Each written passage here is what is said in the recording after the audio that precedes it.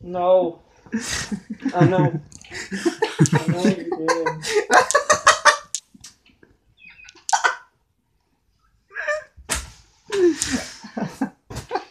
doing. It.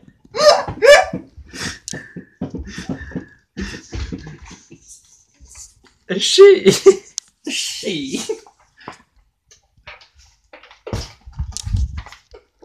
An accomplished man.